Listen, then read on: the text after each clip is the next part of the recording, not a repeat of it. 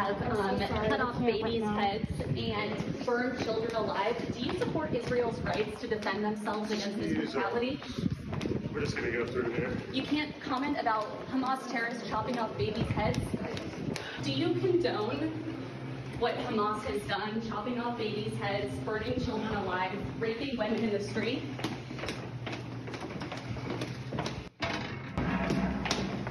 You have no comment about children's heads being chopped off?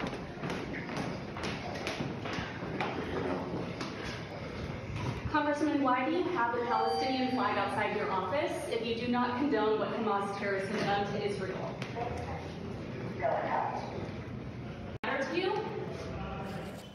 Did a, an excellent job trying to get her on the record.